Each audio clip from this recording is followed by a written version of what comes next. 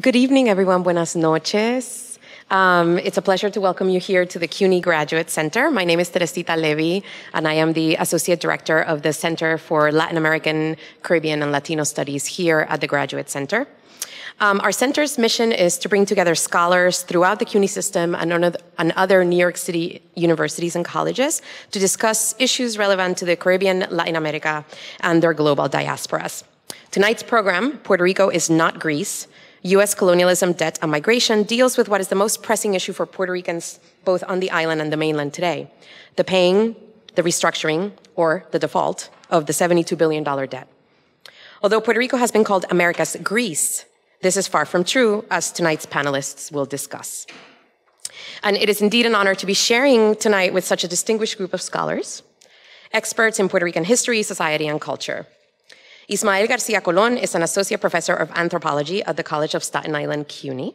He is a historical and political anthropologist with interests in political economy, migration, and Caribbean, Latin American, and Latina Latino studies.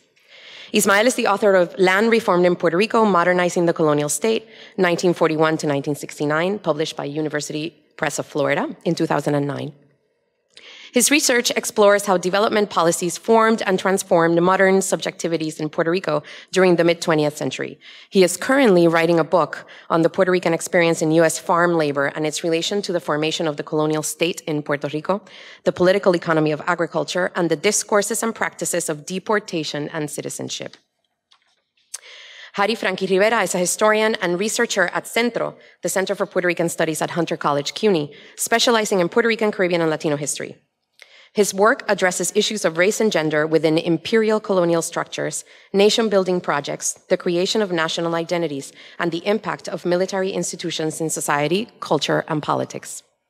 He is currently revising a manuscript for publication by Nebraska University Press entitled Fighting for the Nation, Military Service, and Modern Puerto Rican National Identities. He is also finishing a second manuscript on the experience of the 65 de Infanteria during the Korean War. His recent work includes So a New Day Has Dawned for Puerto Rico's Jibaro, Military Service, Manhood, and Self Government During World War I in Latino Studies, National Mythologies, U.S. Citizenship for the People of Puerto Rico and Military Service, published by Memorias, and Puerto Rican Veterans and Service Members' Well-Being and Place Within the Diaspora, a chapter in Puerto Ricans at the Dawn of the Millennium. Most recently, he has engaged as a public intellectual and published articles in Centro Voices, Ochenta Grados, Latino Rebels, and the Huffington Post, dealing with issues from Puerto Rican identity, immigration, and the diaspora to the condition of Puerto Rican veterans and the economic crisis. There are plenty of seats right here in the front, so feel free to join us. Hector Cordero Guzman is an applied sociologist and professor of research methods, social policy, and nonprofit management in the School of Public Affairs at Baruch College of the City University of New York. He is also the co-principal investigator in Human Services Research Partnerships, Puerto Rico, at Inter-American University, and a professor in the PhD programs in sociology and in urban education at the CUNY Graduate Center. Prior to joining the School of Public Affairs at CUNY, Hector worked as a program officer in the Economic Development and the Quality Employment units of the Asset Building and Community Development Program at the Ford Foundation. He received his MA and PhD degrees in sociology from the University of Chicago. Finally, our fourth panelist, Edwin Melendez, who is the director of Centro at Hunter College, could not be with us tonight. Um, he was asked by Governor Cuomo's office to join their delegation to Puerto Rico. He is there tonight, and he for no, apologizes for not being able to join us. But I suppose when Governor Cuomo calls, you answer, right? Um, and finally, let me just say that the community of scholars of Puerto Rico is relatively small, and it is really a great, great pleasure to be surrounded by respected intellectuals and to have two hours to talk about Puerto Rico. The best of all is that I also get to call these guys my friends. So I will leave you to them and they will all present their work and then we will have time for question and answers. Okay? Welcome everybody. So Ismael, you're up. Good evening. Uh, I just want to thank the Center for Latin American Studies, uh, Victoria Stone, for all her help uh, organizing uh, this event. Um, I will briefly introduce the topic and then let uh, Professor Cordero and uh, Professor uh, Franqui uh, make uh, their presentations. The idea for this event came about from a request that I received from Patrick Neveling, the editor the blog editor of FOCAAL, the Journal of Global and Historical Anthropology, to write a contribution in response to the de developments in Puerto Rico within the context of the Greek debt talks. The mainstream press in the United States has covered uh, Puerto Rico's economic problems widely during this summer.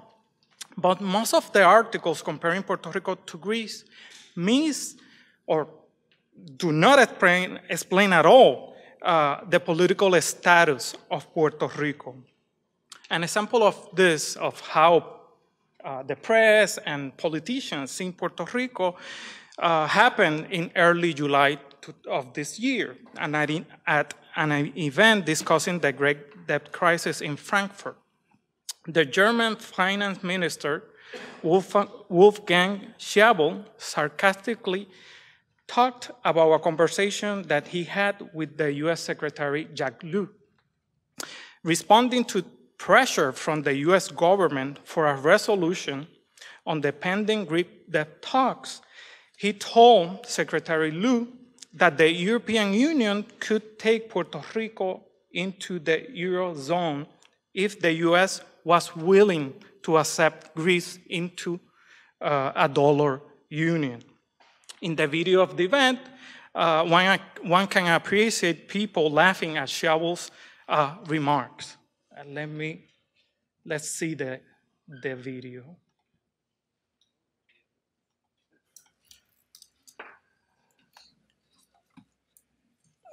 it takes a while. Unless you, if you don't understand German, you'll see the Die Vereinigten Staaten können sich gar nicht vorstellen, was in einer Währungsunion was das heißt. Aber ich habe dieser Tage meinem Freund Jack Lew angeboten, dass wir Puerto Rico in die Eurozone übernehmen könnten, wenn die USA Griechenland in die Dollarunion übernehmen würden. Er fand es einen Scherz. Sie dürfen ruhig klatschen. Die europäischen Verträge schließen bei Staatsschulden einen Schuldenschnitt aus. Das ist ein, Vertrag, ein Verstoß gegen das Bailout-Verbot im europäischen Primärrecht. Und, und Minister Sapin kennen sich übrigens schon seit Studienzeiten. Ich habe dann zu Euklid gesagt, ich mache einen Vorschlag. Wenn ihr wirklich ein bisschen anfangen wollt, Vertrauen zurückzugewinnen, tut doch einmal, einfach mal die eine oder andere Maßnahme, die ihr machen wollt, wenn wir, was weiß ich, macht sie einfach, geht morgen in euer Parlament und just do it. Das würde wahnsinnig viel Vertrauen gewinnen. Bei den Griechen, was ebenfalls aus Umfragen hervorgeht, aber das ist keine so große Überraschung. Vielleicht kommen wir. Okay. Puerto Ricans uh, seemed oblivious to Schäuble's comments. They didn't care at all about his comments. The press in Puerto Rico didn't cover that. Uh, but interesting enough, his comments say more about Germany's intentions and its role in the Greek debt than about Puerto Rico. Schäuble showed how leading politicians in powerful nations relate to poorer countries from which they extract wealth meaning that, you know, let's swap countries like if there's no any, any, any historical background to this, right? At the times of Schäuble's comments, the government of Puerto Rico owed $72 billion in public debt. It is important to consider that the debts were incurred in a political climate where the island's three previous governors have not been reelected to a second term. This is a strong evidence for a long-standing public discontent in the face of acute economic problems plaguing Puerto Rico for over a decade now. The economy has been contracting, labor participation uh, has been decreasing, and unemployment hovers at around 12 to 15 percent mass migration to the US mainland and an aging population could worsen the situation in Puerto Rico as the tax base further shrinks and an administration desperate for revenue uh, implements another wave of taxes and reduction of public services. Unlike Greece, Puerto Rico is the de jure colony of the United States. Schäuble implied that having Puerto Rico as a German colony, colony will be less of a headache than having Greece in the European Union. The German Minister of Finance made his comments after the recent announcement of Puerto Rico's governor, Alejandro Garcia Padilla, that his government is not able to pay the island's debt. Garcia Padilla emphasized that for resolving the issue, it is now the turn of Puerto Rico's creditors and called them to negotiate in order to restructure, restructure payments. His annou announcement was made in the context of the Greek debt talks and referendum, and I don't think this, this happened by chance. In his message to the people of Puerto Rico, Garcia Padilla rejected more tax increases, pensions cuts, and the elimination of the US federal minimum wage in Puerto Rico. But that, this was in July. We'll see tomorrow because the government of Puerto Rico uh, is unveiling a plan of economic adjustment uh, tomorrow. So we'll see if uh, Garcia Padilla changed uh, his mind. Even though Puerto Rico is a territory of the United States and limited by Washington's monetary and fiscal policies, the response of the Obama administration is that it would not rescue the government of the islands. And of course, this crisis, this economic crisis and the debt has affected the working poor. Half of the approximately 5,000 Puerto Rican seasonal farm workers in the United States began migrating in the last 10 years. As even retirees have started to migrate, the vast majority of people staying in Puerto Rico are those with the steady jobs, but also those who cannot afford to migrate. Until the debt crisis is resolved and socioeconomic stability is restored, the Puerto Rican exodus will continue to the United States. And finally, return, returning to Schäuble's proposal that the US and the EU could swap Greece and Puerto Rico, one can argue that for the imperial politician of the 21st century, debt problems may look similar throughout the world. But the particularities of the case of Puerto Rico lies in its political status as a colony of the United States. In order to understand Puerto Rico's debt crisis in relation to Greece, we need to look at its history. And tonight we have two leading Puerto Rican scholars to discuss that history. Thank you.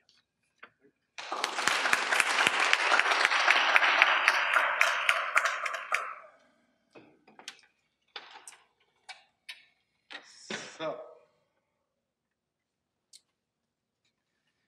let me figure this out one second.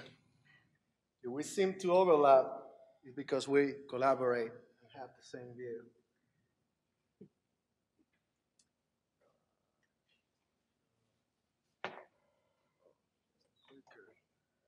So uh, thanks for having me here. Uh, I guess uh, what I'm going to do is I'm going to explain a few facts on Puerto Rico's uh, debt crisis. And I just returned from Puerto Rico and uh, I love to take pictures when I go to uh, the island. And one of the things that I can say is that I've never seen, I've never seen so many flags. Flags on the remnants of some dogs, old dogs, flags on the windows of doctors' offices. I've never seen this. And I was born and raised in Puerto Rico, and I try to visit twice a year. I've never seen so many flags. What does this mean? I don't know but um, it's curious. And this um, picture in particular, I don't know. Um, I'm not gonna say anything about it, but you could write, you could write a whole book on this. Look at the flag in the middle of the ocean. Is, is that hope? Is that um, um, pride in the face of adversity? And this was all over the place, all over the place. So um, this past June 28, the governor of Puerto Rico, Alejandro Garcia Padilla, shocked creditors when he announced that the island public debt of $72 billion then, now 73, was unpayable. That, of course, brought the issue to the front and center in American media. Uh, then on August the 3rd, uh, Puerto Rico, in fact, defaulted on the debt by paying only a fraction of what was due. The government of the island paid only $628,000 um, dollars of a 58 million payment due on its public finance corporation bonds. I was in Puerto Rico at the time, and as I heard the news on AM radio, I felt compelled to find cover lest a piece of falling sky hit me on the head, since that's what media is uh, telling you something horrible is going to happen when Puerto Rico defaults. So I heard the news at a local beach bar, a Chinchorro, and the bar owner and the local clientele, they seem entranced as they listen to the AM radio. And of course, we engage in conversation, and it soon became apparent that they really did not have a firm grasp of what the debt crisis was or how it affected their business or daily lives. Yet, they knew the economy was bad and that the debt crisis was somehow linked to it. So, what is the debt crisis? We have public debt in Puerto Rico roughly $73 billion. The economy has been contracting, contracting for over a decade. Unemployment hovers around 12, 13%, but this is nothing new in Puerto Rico, right? But look at this. In July 2015, there were 990, 992,000 people employed in Puerto Rico. Compare that to when most people uh, tried to find the root of this economic crisis, 1993, 975,000 people were employed, or 20 years ago. Actually, 20 years ago. Sorry. So, Puerto Rico per capita income is one third that of the United States, but then again, it's been like that for a while now. Uh, it's also about half of that, half of that of the poorest state, Mississippi. Puerto Rico poverty rate is 45% in comparison with 15% in the United States as a whole. 37% of the population receives nutritional assistance compared to 13% of the population in the 50 states. Puerto Rico's population has shrunk by more than 5% in the last, uh, in the last 10 years. Uh, I remember growing up in Puerto Rico, uh, I don't know, we have this, um, Puerto Rico, we have this tendency to say, yeah, we're going to reach 4 million. And I remember we were always waiting to reach 4 million. We're 3.7, 3.9, all of a sudden, whoa, what happened? I guess we like numbers and growing, growing any possible way. And now the population is shrinking due to uh, the economic crisis that is entering its second decade, which has led to a massive exodus.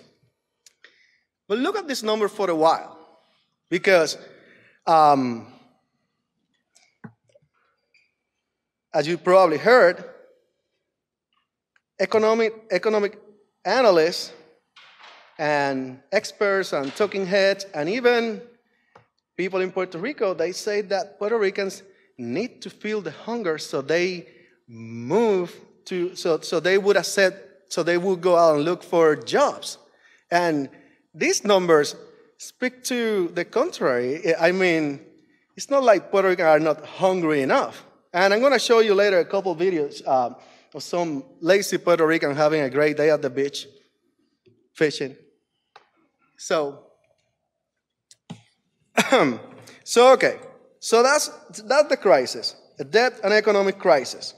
So the barkeeper and his patrons, like most people I talked to in Puerto Rico this past August, engaged in the old game of blaming the blues or the red, the PNPs or the Populares, depending on what political party you support.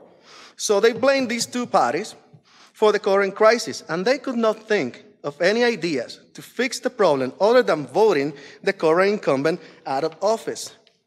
As Ismael mentioned, and this is a phenomenon that I call one termism. Um, the last three incumbents, the last uh, three previous uh, incumbents have not been reelected to a second term. And the current administration will surely join the not so happy club. Actually, I don't want to guarantee anything, but I don't see, I don't see how, um, I mean, the current governor is being challenged by his own party. So One-termism reflects a long-standing public uh, reflects long-standing public discontent in the face of acute economic problems plaguing Puerto Rico for more than a decade now. It also reflects the futility of Puerto Rican politics as voters replace administration after administration without bothering to, to check if their economic policies differ in any meaningful way. They just want change. More often than not, the overall policies of the Popular Democratic Party, the PPD, which stands for Commonwealth, for the Commonwealth formula, formula or maintaining the status quo, and those of the new Progressive Party, the PNP, which seeks federated statehood, are one and the same. We're going to see in slide uh, four, if we look at this table, we will notice that both parties have contributed equally to the debt crisis, starting with the administration of Dr. Pedro Rosselló, which increased um, the public debt by 13 billions, uh, basically doubling, doubling um, the public debt left by the administration of Rafael Hernández Colón. But if you look at this, both parties have contributed equally to increasing the debt. And from 1993 to 2013, um, the public debt increased by $61 billion in 20 years. But let's go beyond the blame game and let us assume that these administrations were led by capable people interested in moving the country forward and fixing the island's economic problem. So, what stopped them? So, what stopped, stopped them from, at the very least, not making the situation worse? Let's go to the 1990s. Uh, we're going to see, as Mary had point out, uh, pointed out, the current economic crisis uh, in Puerto Rico originated in the 1980s, 1990s, maybe a decade earlier. For, um, for the root of the problem is the island's economic model. So, Puerto Rico's economy uh, faltered in the late 1970s and 80s, but maintained investment through Section 936 of the U.S. Internal Revenue Code, designed in 1976 specifically to attract mainland investors to Puerto Rico. The 936 section pick up the slack. The island, the island grew ever more dependent on Section 936, and uh, you can see, as you can. Uh, blah, blah, blah, sorry. As you can see, um, at a certain point, uh, they, cre- they were creating about 11% of the jobs in the island. So what happened? Um, the system began, began to be dismantled in the 1990s as part of a compromise between the Clinton administration and the Republican Party. The gradual elimination um, of this tax ex- exception is in great part responsible for the acceleration of Puerto Rico's economy. And what happened is that once the Cold War was over, the, uh, Congress had no incentives for continuing this program. The 936 were created at a moment, at a critical moment during the Cold War, in which Puerto Rico had to look like the pearl of the Caribbean in opposition to Cuba. Cuba was to be a failure, Puerto Rico was to be a success. Once the Berlin Wall came down, there was no reason to keep the, the 936. So, too many facts. Go, don't get dizzy. Um, so Puerto Rico's response was to uh, increase borrowing for public works, including a universal healthcare system, and that seemed to work at first because Puerto Rico still enjoy relative economic prosperity and a solid tax base. But by the year 2000, the effect of gradual elimination of Section 936 was quite palpable. You had um, hundreds of factories left, unemployment rose, and the tax base diminished. And administration after administration, they just kept on borrowing. So, so what can Puerto Rico do now? I mean, they kept on borrowing and they kept passing the buck forward until they couldn't do it anymore, which is what we have now. 73 billion in public debt. So, As we know, Puerto Rico cannot enact its own monetary policies, which is something that independent countries do to try to solve their financial problems, right? We cannot do that. And Puerto Rico cannot restructure its debt under the protection of Chapter 9 of the US Bank, uh, Bankruptcy Code, and no one actually can tell you why. I look all over. Some people say, yeah, I used to exploit the colony. I'm like, yeah, find me a document or tell me how, how is that possible. And apparently, in the 1970s, in the 1970s, Congress tried to fix this and include Puerto Rico, and they couldn't figure it out. So they just say, forget about it. So, but we're looking for exceptions. And just so you know that there is a crisis, we have um, bipartisan cooperation in Puerto Rico, and the Office of Puerto Rico Representative to Congress, Pedro Pierluisi, introduced on February 11 uh, Bill H.R. 870, seeking to, um, um, to extend uh, to extend the protection of Chapter 9 to Puerto Rico so, we, so the island can restructure its debt. So, this is a very touchy political issue, as anything in Puerto Rico is. Um, if it finally happens, uh, the PPD will claim that this is in fact more autonomy, that the island is, is moving to uh, what is called, um, well, it's more autonomy for the Commonwealth. It's a way of showing that the ELA continues to be viable and that eventually Puerto Rico could get more and more autonomy under this model, that there's no reason to change it. Of course, if I was one of the ideologues of the PNP, I would say that this just moved the island closer to statehood. So, you can see, you know, everyone has an opinion. There's many ways of manipulating, um, manipulating facts and data for your political purposes. So I think everyone wins. Um, to be a, a, political guru, I, I would say that uh, the ones that are going to be able to really, if this finally happens, the PNP, actually Pierre Pierluisi is going to be the one who can claim, yeah, I got this for the island. It wasn't the governor. So there's one problem with this. Only about a third of Puerto Rico's debt can be restructured under Chapter 9, and that is the debt owned by municipalities. So, some people have argued that Puerto Rico needs um, a special Chapter 9 in which all the debt is restructured. I, right now, these two bills are stalled in Congress, but since there seems to be a lot of uh, momentum uh, in the US, uh, behind supporting doing something for Puerto Rico, it, we may see um, a change in Congress. Puerto Rico is going to get um, a special Chapter 9, and that only a third of the debt will be restructured.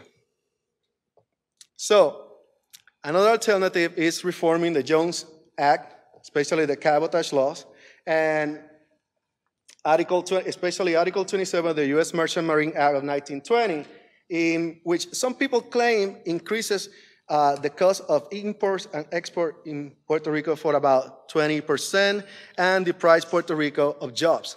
Actually, some um, studies, studies show that eliminating the Jones Act um, could create up to 50,000 jobs.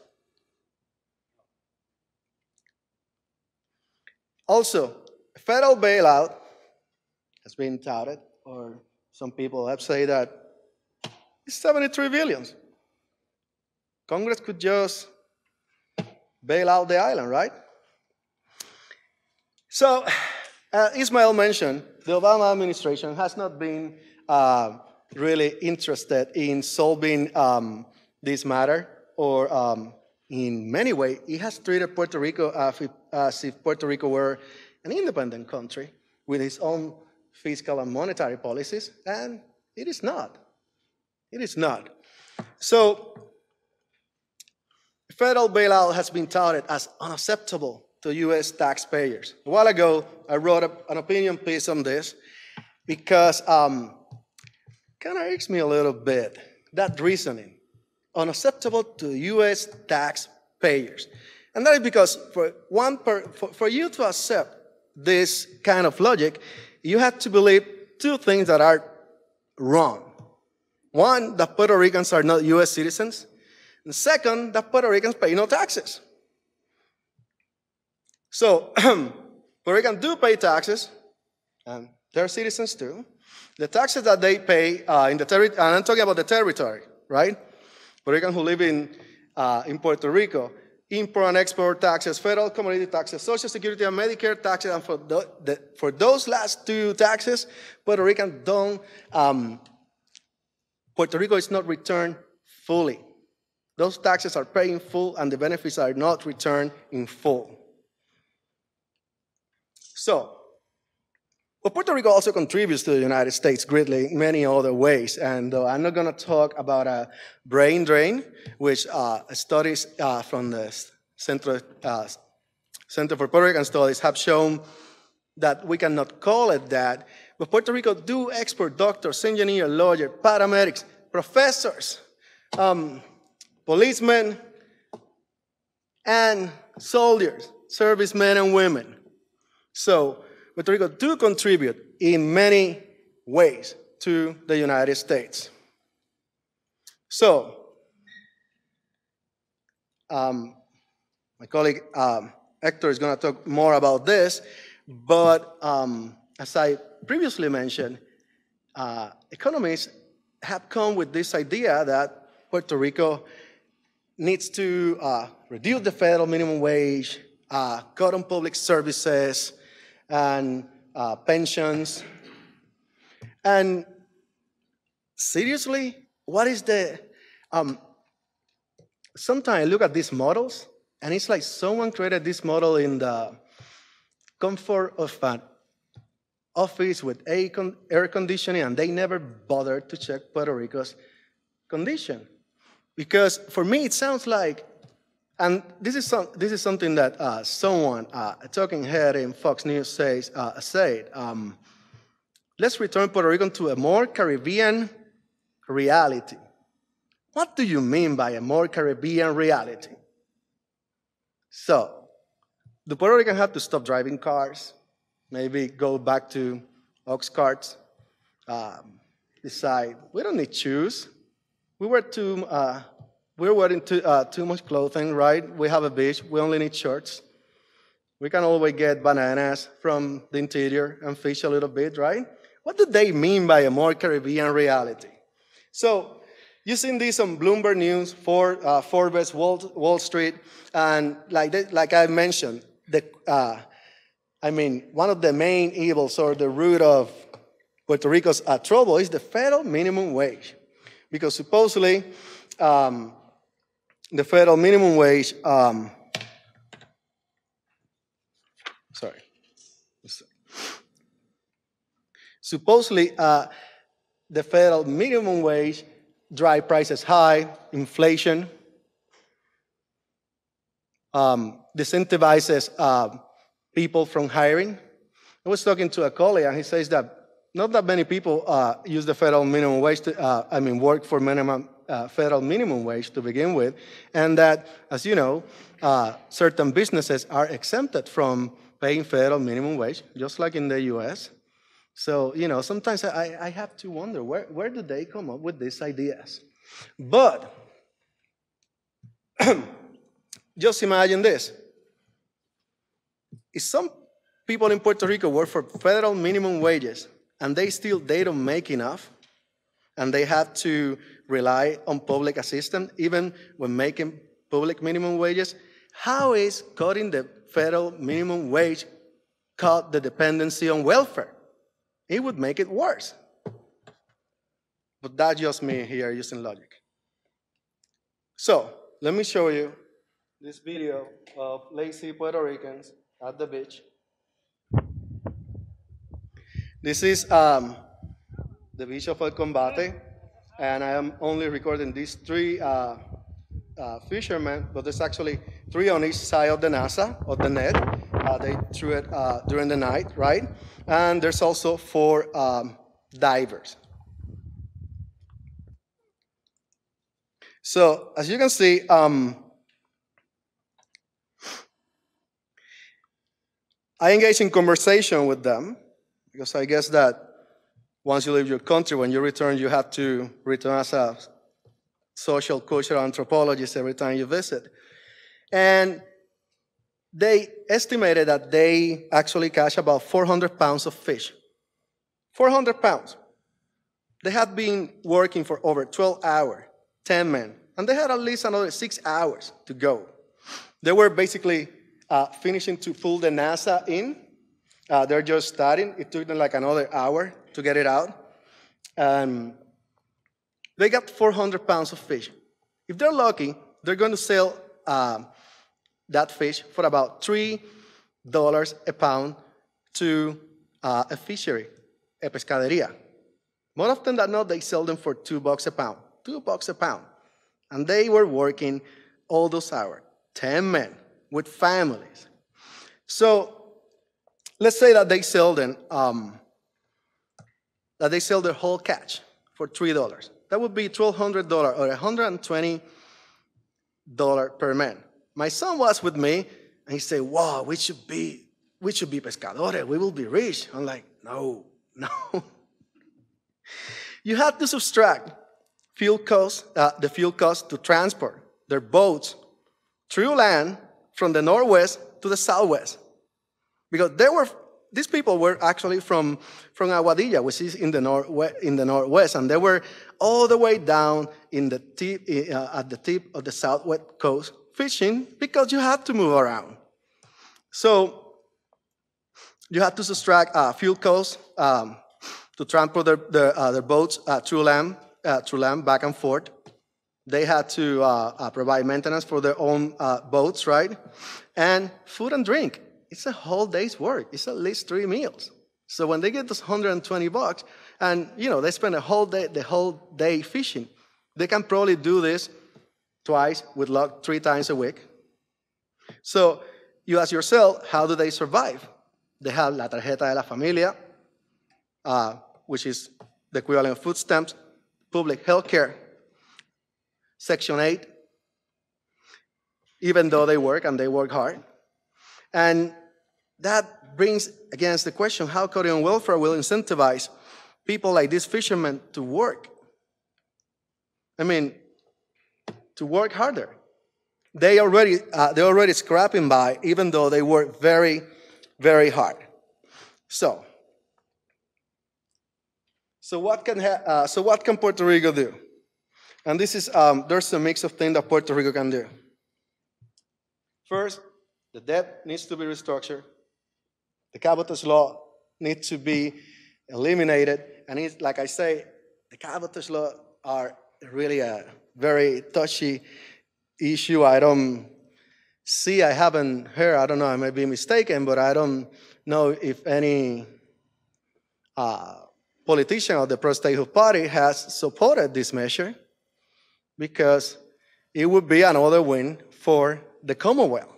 It would be more autonomy and a more, and again, uh, preferential treatment. So um, then again, if, if, the proposal gets momentum, it would be kind of political suicide for uh, supporter of statehood not to support it. Then again, Puerto Rico will benefit from developing and, and diversifying the, uh, the agricultural sector guided by a comprehensive public policy.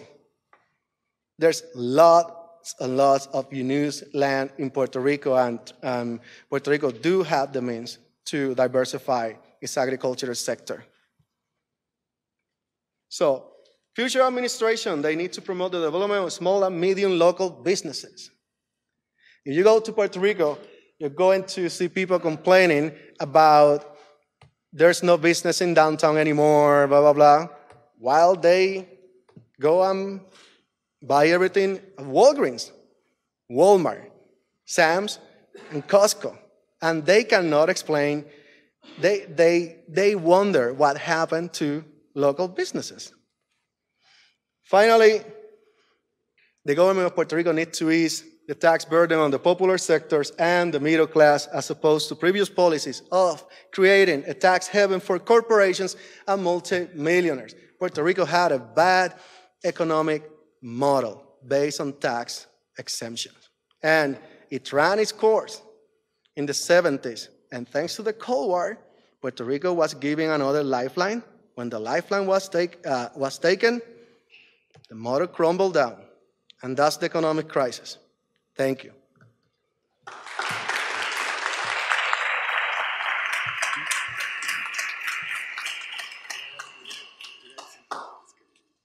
Thanks to Teresita and uh, uh, uh, Victoria and to Ismael for putting this event together. Let me try to get out of this and put my show.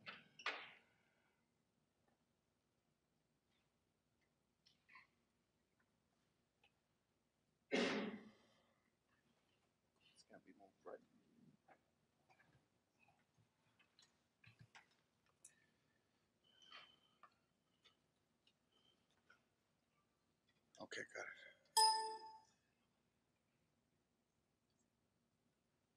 All right. Thanks to uh, Harry also for giving you some background on kind of how we got to where we are today and some potential solutions for the crisis. Puerto Rico has multiple crises overlapping at the same time. It's not just one crisis. There's a uh, most certainly um, a social dimension to the crisis with declining population and increased out migration. There's a economic dimension to the crisis reflected in reductions in employment and flattening of incomes, and Harry presented some of that data. There's a fiscal dimension to the crisis reflected in high levels of government debt.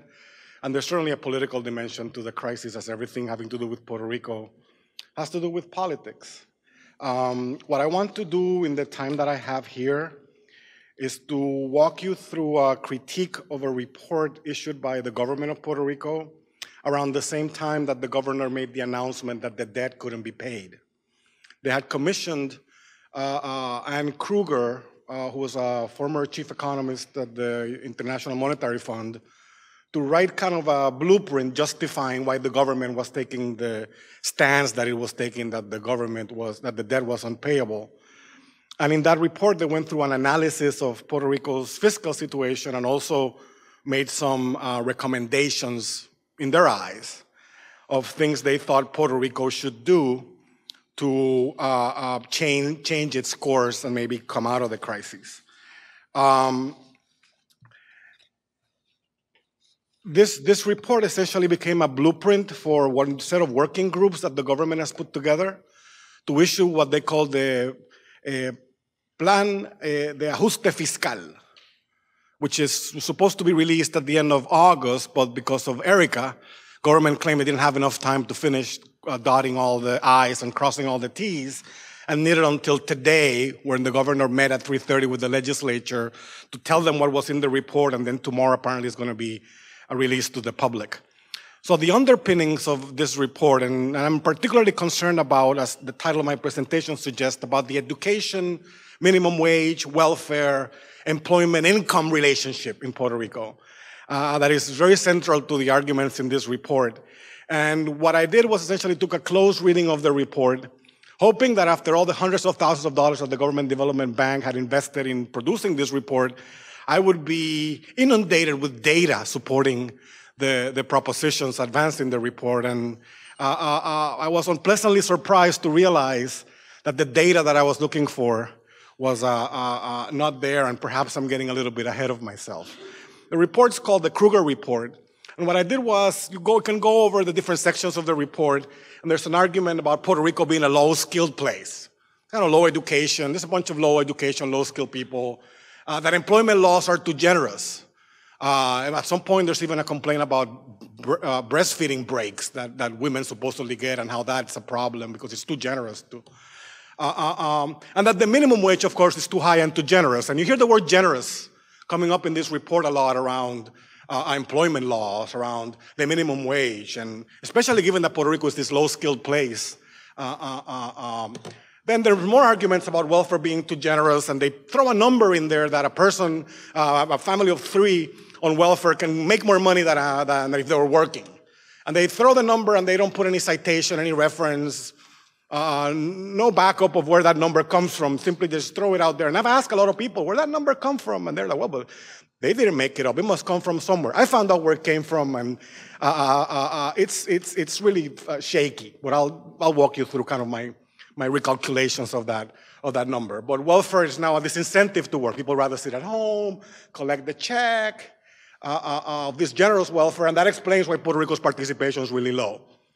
You know, very generous welfare. People rather just stay at home and, and, and, and chill. So in the end, uh, she says, that they say in their report, employment laws are very generous, welfare is very generous, welfare is a disincentive to work, employment laws should be reduced and streamlined and eliminated, and welfare payments should be cut to kind of push people uh, uh, uh, back to the labor market. So they summarize their, their, or the summary of their argument is essentially that Puerto Rico's a low-skilled place, welfare is too generous, employment laws are too generous, the minimum wage is too high and generous, of course. Uh, uh, welfare is a disincentive to work, and therefore labor force participation is low. So labor force participation is low because the uh, uh, welfare is too generous and the minimum wage is too high, which means that people can afford to hire workers.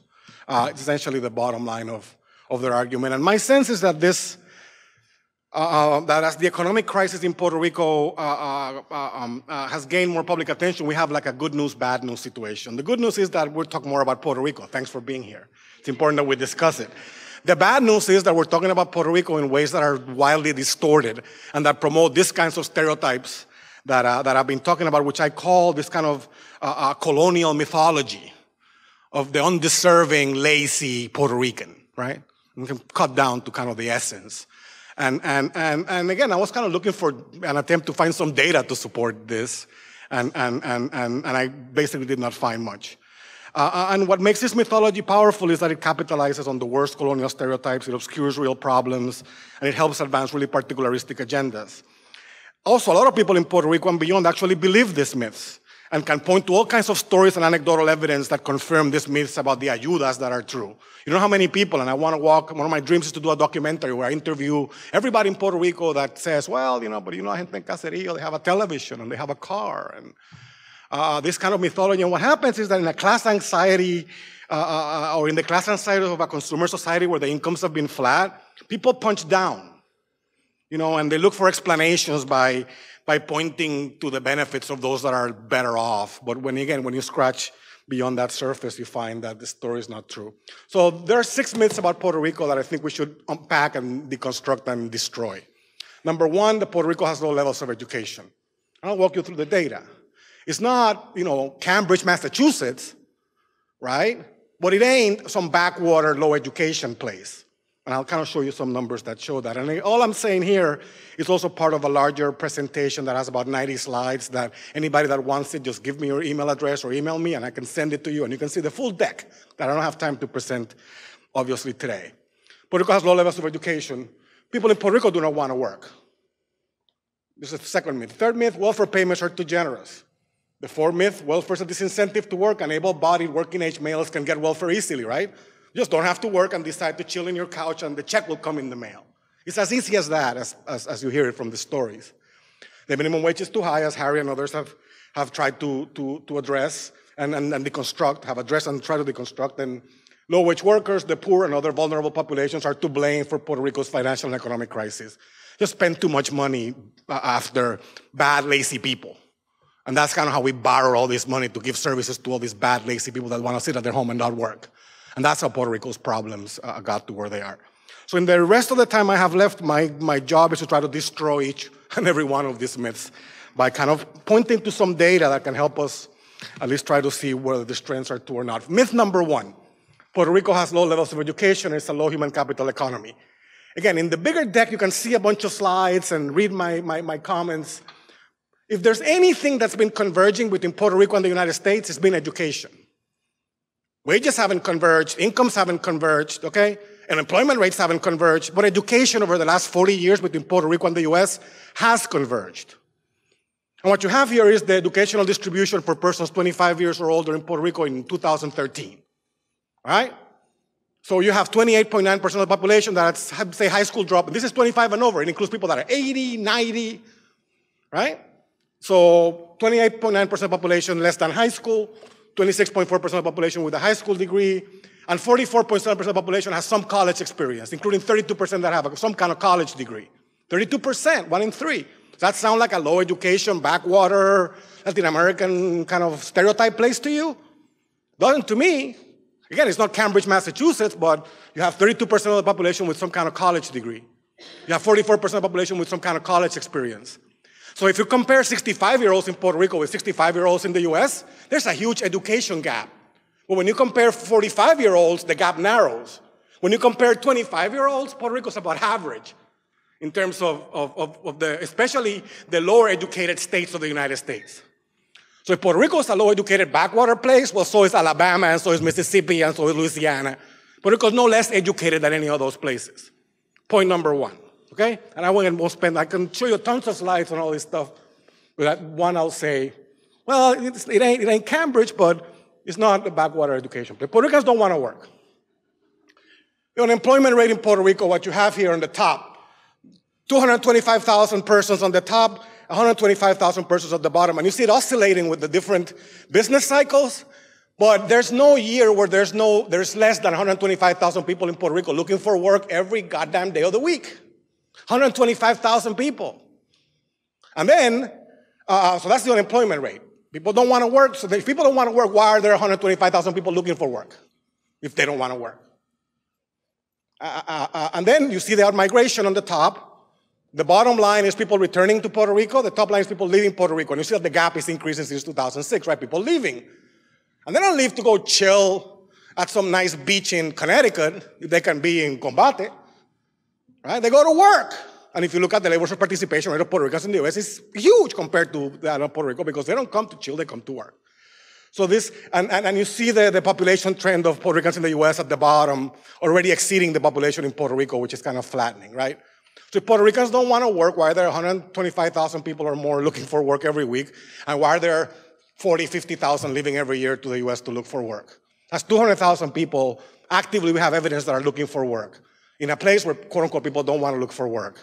And sound, sounds like stereotype to me. And, and, and this kind of summarizes the point, but I want you to look at the point before last. I did the calculation last night. I was listening to Bill Spriggs on WBAI on Labor Day, talking about the working poor in the U.S. And I said, well, let me look at the working poor, which was what, like 10% of full-time workers in the U.S. They work, they work 52 weeks of the year, earn poverty wages. The number of Puerto Rico is 17.8%. There are people that are working 50 to 52 weeks a year, 172,000 people working 50 to 52 weeks a year, making below poverty wages. So it's 125,000 people looking for work. There's 50, 60,000 people migrating, and there's 175,000 people working for poverty wages in a place where people don't want to work. Can I move to the next one? Uh, uh, welfare payments are too generous. Let's look at the data. What, what, what, what do you mean by generosity? What, let's look at dollars. I look at generosity by dollars and cents. Show me the money. How much money are we talking about people are giving to Puerto Rico?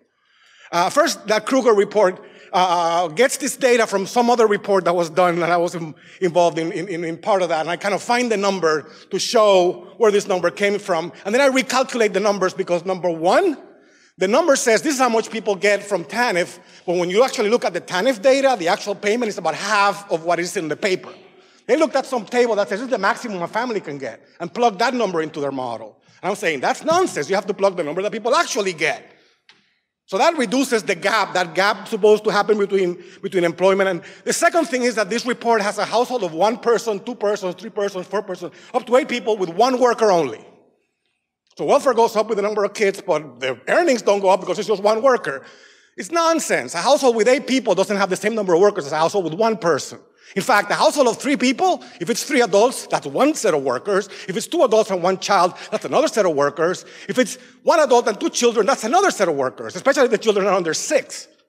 Okay, so they don't make any of these adjustments or any of that. So I went to the TANF data, looked at it. Those are the last two columns, at the uh, three columns at the, at the, at the bottom, at the, on, on, the, on, the, on the side. It says TANF data June 2015. There's 63,000 733 people in this TANF program in Puerto Rico out of a poor population of 1.6 million people. You know, um, 66,000 people. okay?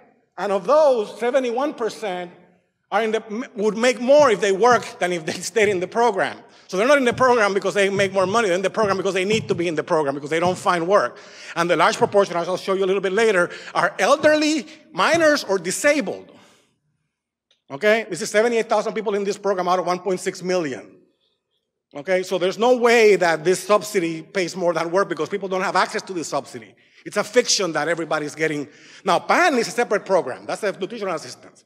$300 for a family of three, which I don't consider generous on a kind of cash basis. It's okay, una comprita, but that's people don't people don't don't stop earning $1,500 to get a comprita for $300. They get a comprita for $300 because they don't want their children to starve to death. Okay, that kind of seems pretty basic to me. And so I recalculate the numbers. And then I look at, at, at, the duration of people in TANF. The people in, in, Puerto Rico spend a long time in this welfare program. We hear stories about generations. It's a lifetime. And then about the generosity of the payments. That's the data. I don't want you to look at the data. I just want to see Puerto Rico is. You don't have to. You can see that from everywhere. That's the pay arranged by the amount of payments from the Alaska, which gives you the most, the biggest welfare payments at about 580 some dollars a month, all the way down to Guam, which is $22. Uh, but Puerto Rico is right between Indiana and Oklahoma at $197 a month. $197 a month is the average program for people in the quote unquote welfare program in Puerto Rico. Is the average monthly payment, 177 $197 a month. So, uh, uh, and then the ne- column next to it is the number of months on average that people are on, TANF. So I just graph the data, put, put one against the other. The, the, the, on, uh, along the top, you see the, the amount of money that people get. Along the side, you see the number of months that they spend in the program. And guess where Puerto Rico is? Puerto Rico is in the low quadrant. Low payments, low duration. Every state that is to the right, the people in that state last longer in the TANF program than Puerto Rico. Every state that's to the top of Puerto Rico, the people in that state make more money on welfare than they make in Puerto Rico. So generous in relation to what? To Zimbabwe? Sure. But generous if you compare it to every other state, and Puerto Rico's been a part of the US for over 110 years. So it's reasonable for us to compare ourselves to our master in some way. Then they don't look like they last longer on welfare, and they don't look like it's any more generous than any of the other states, at least to my eyes. So I summarized kind of those points that I've been verbally uh, uh, uh, discussing. Number four, then this generous welfare that we give people in Puerto Rico supposed to be some kind of disincentive to work because people rather sit at home and cash in. Um, first of all, the labor force participation rate in Puerto Rico, and you can compute it in different ways. They use the 40%. That's 40% of people over 16 are in the labor force. But is the people over 16 the right denominator for that equation? So if you do that, you get 46.3% using the census data. The next panel, I say, well, but uh, uh, uh let's say we have ages 25 to 64. That would seem a more reasonable working population. Do I want my 16 or 17 year olds to be working full time? Do I want my 85 year olds to be working full time? No, so let me chop the population. That gives you a participation rate of 61%. But that has some people that are disabled, about 9 to 10% of them. Do we expect disabled folks, blind? You know, they, they may work, but we expect them and we're going to count them? Well, let's take them off the denominator. Well, that goes to about 69%. So you go from a 40% participation rate to a 69% participation rate if you make some adjustments for age and adjustments for disability. So it doesn't look as low as they like it to, to, to, to look when you actually make some reasonable adjustments. And then this is the data on the 65,744 people that are in that TANF program. I did just did three, a three-way cut. I looked at gender, male, female, age, young, less than 18, adult, between 18 and 65, and elderly, over 65. And then I did disabled and not disabled. 1.2% of the 65,000 TANF cases, 790 people, are males that are adults that are not disabled. And you know why they're in the program? Because they're taking care of children that have serious disabilities and they can't work, not because they can't work, but because their children need care. And, and that's why they also qualify for the program because they're very poor. So poor, poor fathers, typically, because the mother's absent for some other reason. So think you're a poor person, you get into a car accident, the wife dies, the kid ends up disabled yeah, you may end up in the TANF program, okay? And I'm not going to complain about that. And these 790 people. You don't see any, point is, you don't see any able bodied male adults in this program. If you're an able bodied male adult in Puerto Rico, there's no office you can go to for cash. There's no such thing. It's a myth that you can do that. Now, there's 14.2% that are able-bodied women uh, uh, that are not disabled, but they tend to, again, have minor children, and some of the children have, have disabilities. Uh, um, so did welfare cause declining employment, or was the declining employment the cause of people going on welfare?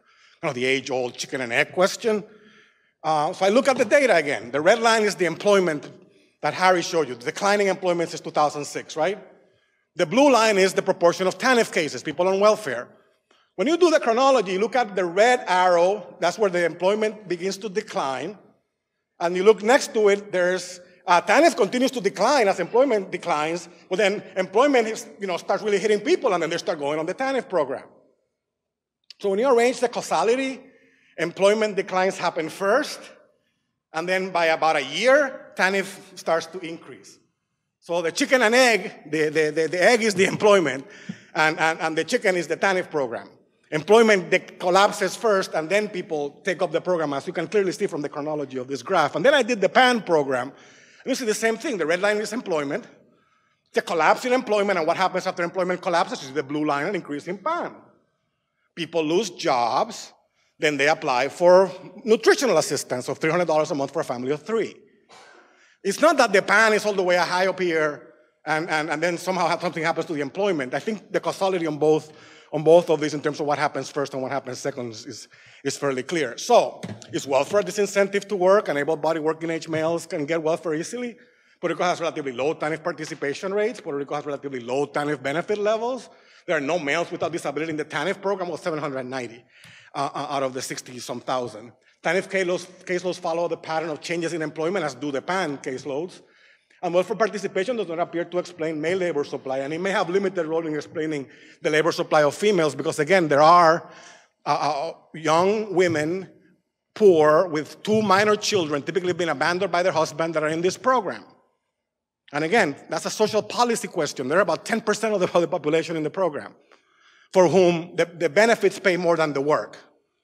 And again, if, if, if you, 10%, if you ask me as a social policy person, should society have a program so that, so that young women that are poor, that have two minor children that have been abandoned by their uh, partners, uh, uh, get on their feet and feed their children while they'll then get to the, the labor market full time? I would say, yeah, that makes sense to me. I don't want to kick them to the labor market immediately thereafter. You know, there should be a, that's what the program's there for. So if a program exists, I'm not going to complain people using it. Uh, uh, uh um, me, I don't know how much time I have. I'll take another five minutes, sorry. The minimum wage is too high.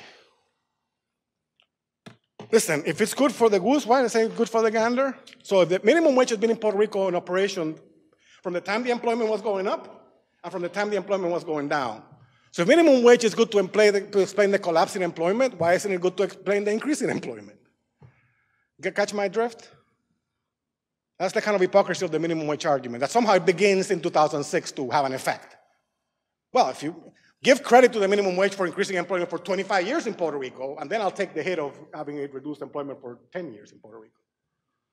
But the, but, the, but the only thing that happened in 2006 that we can track that has this effect on the employment was the loss of uh, uh financial incentive subsidies and, and, and, and, those firms leaving. The minimum wage doesn't explain this uh, uh, uh labor market. And then let's look at uh, data on wage levels and, and, and compare.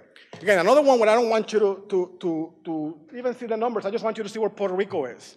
That's the uh, average and median hourly wage for every single state and the, three territories, DC, Guam, and the Virgin Islands. And that's where Puerto Rico is. Where does it look like to you where that it is? The column, the, the, the row below Puerto Rico says total. At the bottom, and by far, Puerto Rico is uh, 942 the other two on top of Puerto Rico, who, who are they? Guam and the Virgin Islands, folks. I want Puerto Rico to catch up to Guam and the Virgin Islands. Forget the 50 states and DC, who's the top state. Okay, the average hourly wage, uh, median hourly wage in the Virgin Islands is $12.36. The median hourly wage in Guam is $12.37. And the bottom, the median hourly wage in Puerto Rico is $9.42, which is about 56% of the US average of $16.81. So the question I ask for those that say the minimum wage is too high is how low should it go? How much lower do you want it to be? In other words, how much lower do wages in Puerto Rico have to be before wages in Puerto Rico start catching up to the rest of the states? What's the, what's the economic model and logic of that? You know, if, if, if, I, find the economists that can explain to me, and I've been looking and I asked on Twitter and all of that, and I don't get anyone that can explain to me how lowering wages increases wages. But again, I may be too, too, too complicated or too dense for, for, for those things. And then I did, okay, so let me plot the, the, the state's employment to population ratio by the state's hourly wage. And guess what you find? Puerto Rico's at the very bottom, right? 10, you know, nine something and uh, 20 some percent employment to population ratio. That's just the employed persons divided by the entire population of the place, okay? It's not the best denominator, but it's one that's constant for all the states. The relationship is that, guess what? The higher the wages, the higher the employment. That's what, that's what I, I, I drew the arrow kind of where we would draw a regression line through those points. And it's what, what folks in the business call a positive relationship. Okay? Not a negative relationship. The, the, the, place with the highest employment is the place with the highest wages. Up there, you see it, DC. There's more people in DC. There's more employed people in DC than the residents of DC because they commute from Virginia and Maryland, and they also make the highest freaking wages in the country at about 28 some on average. Okay? Uh, um, so when you plot the relationship between wages and employment, you find that more wages go with more employment, not kind of the, the, the, uh, the other way around. So I don't find a lot of evidence for, for the minimum wage being the real problem in Puerto Rico for a lot of reasons. And again, that's an, an area where I do a lot more slides. And then there's a, a, a colleague, Arin Dube from the University of Massachusetts, who wrote a really thoughtful essay. He's the nation's leading expert on minimum wage research. Uh, basically saying when you look at the evidence, the case is very weak that the minimum wage is really the problem in Puerto Rico. The problem in Puerto Rico is lack of good jobs. You know, uh, uh, um, it's an employment problem. So what does Krueger see? Let me close here. Krueger recipe for Puerto Rico. She sees a low-skilled place with employment laws that are too generous, with a minimum wage that is too high, with welfare that is too generous, where welfare is a disincentive to work, and with low labor force participation because people don't want to work, they rather sit and chill. So the solution from the report is cut welfare, cut wages, cut benefits, and eliminate labor laws. And that's what all the working groups from the from the government are supposed to be doing and supposed to be releasing tomorrow. Though, as Harry mentioned, they're afraid to say this. They need to say it for the bondholders, so the bondholders think they're doing the hard work and, and putting pressure on their own people. But politically, it's a suicidal move. uh, so it's going to be interesting to see how they're going to do that dance over the next couple of days. Uh, uh, but again, the, the, so the path that Krueger wants to draw, if we will go back to that path, is they want more employment, they want more employment, but they don't care about wages. That's the red line. You can increase Puerto Rico's labor force participation at a cheaper wage. That's the path that they're pointing to. And you know, slavery was a full employment economy, right? There was no unemployment under slavery. But we object to that kind of full employment economy, right? We don't think that's fair. And, you know, similarly, I would say to our U.S. masters that, you know, paying the cheapest wages to Puerto Ricans ain't no way to treat your colony, you know? Treat us with some respect and, and and pay us what we're worth. Don't tell us that we're worth less than any other citizen. And that's kind of where we, uh, where we are today. So I think Puerto Rico should go the tried and true path uh, uh, uh, uh that every other state has followed. Higher wages lead to more employment. So the problem in Puerto Rico is not that the wages are too high, it's that they're too low. And people rather just. Uh, so the consequences that I see if we follow the Krueger recipe, I think I promise I'm wrapping up. Reduce power of workers and more inequality lower labor uh, protections and more abuse at work. If you reduce the, the, the, if you change the probationary period and you can fire people for no cost in a, in a labor market where there's such an abundant labor supply, employers can get away with murder. And you can work hard and you fire the next day because there's 20 people that can take your job. And now that I have even lower minimum wage, it's a buyer's market. I can do with you whatever I want. Is that really what we want? Is that progress for Puerto Rico? Uh, more desperate workers and more labor market circulation. People, rather than staying in one job for a long period of time, they're going to be fired and hired and fired and hired. There's going to be all this kind of circulation for people to try to make ends meet. Higher poverty rates and needier populations is what I see. Lower standards of living and quality of life, and an increased wage gap and continued migration, which is kind of where we come in the picture. A couple of days ago, I just figured, you know, let me get the data for Puerto Ricans in the US and compare them to Puerto Ricans in Puerto Rico, because we're talking about who should we be compared to to Latin America, to the US, to, well, let's compare Puerto Ricans in Puerto Rico to Puerto Ricans in the US.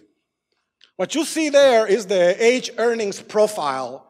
The red line is Puerto Rico, the blue line is the United States. So say you're a 16 year old, starting at the bottom, right? You can, and, and, and everything else is equal, and you can take two roads to your future. One is the I stay in Puerto Rico road, that's the red path. Or I go to the US road, and that's what Puerto Ricans in the US are making, that's the blue path. So essentially, a 24 year old in the US makes as much as a 42 year old in the US, in Puerto Rico. Let me say that again. A 24 year old in the US, Puerto Rican, makes as much as a 40 year old in Puerto Rico. And, and, and, that amount that the 40 year old makes in Puerto Rico, it's the peak. They're not going to make any average higher than $20,000. Look at the rest of the afro. That I call this graph my hair when I was young graph. Okay? Uh, um, so, what the people in Puerto Rico want to do is to push that red line even lower because the wages are too high, right?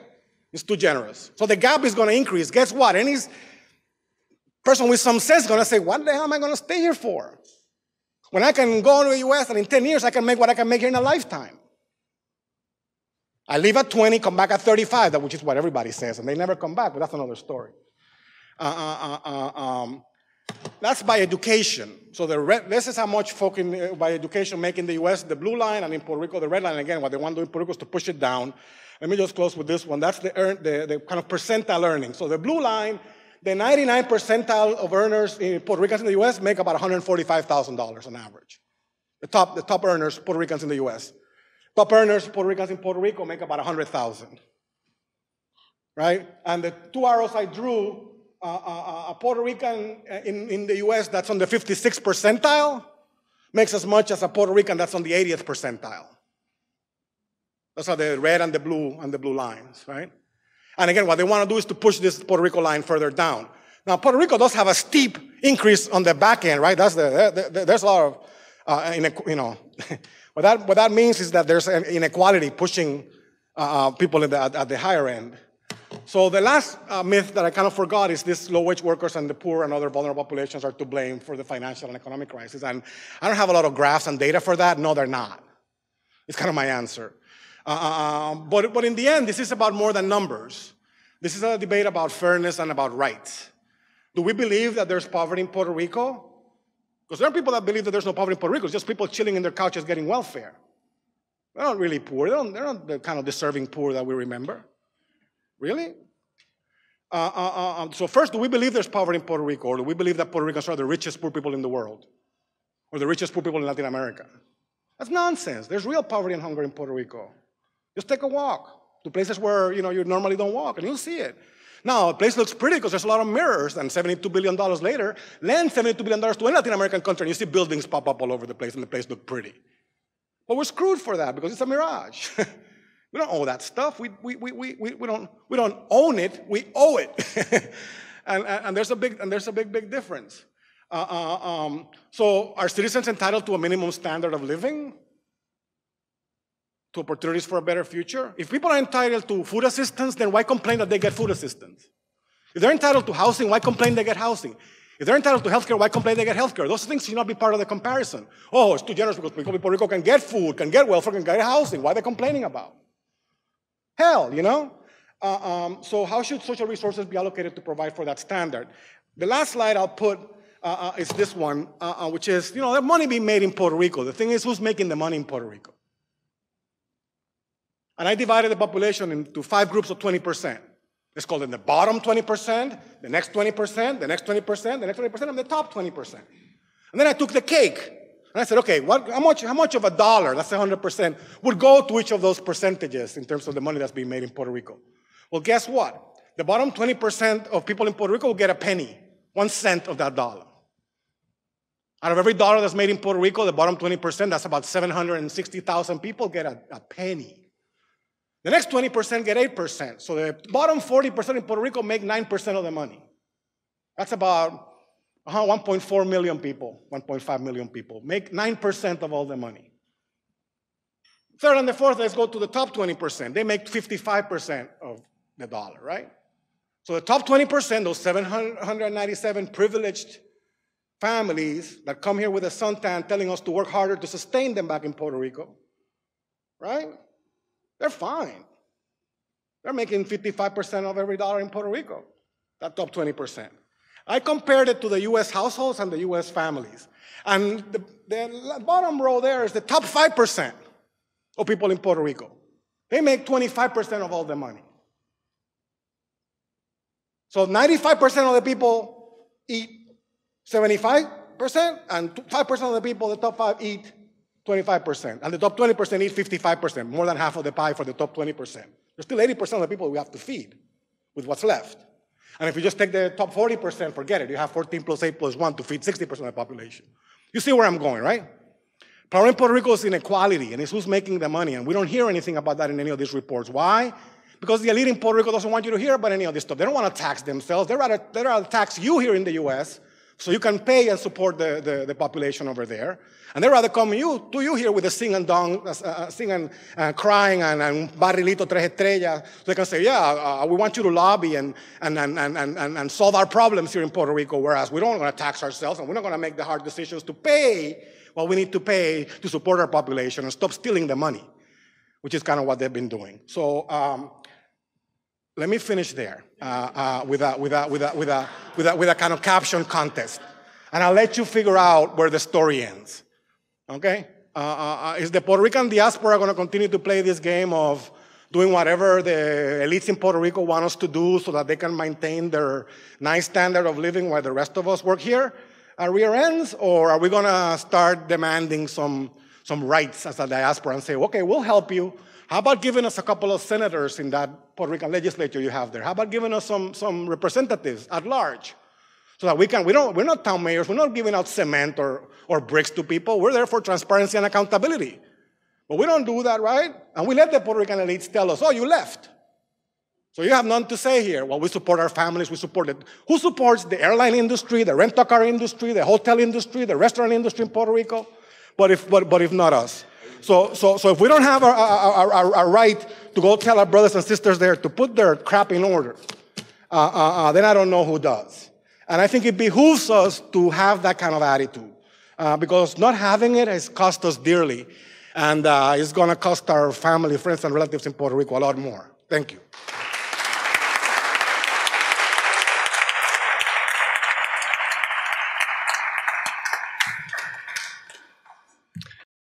Thank you to uh, Ismael and Harry and Hector for um, all of that amazing information. Um, questions? Comments? Yes, Marcos.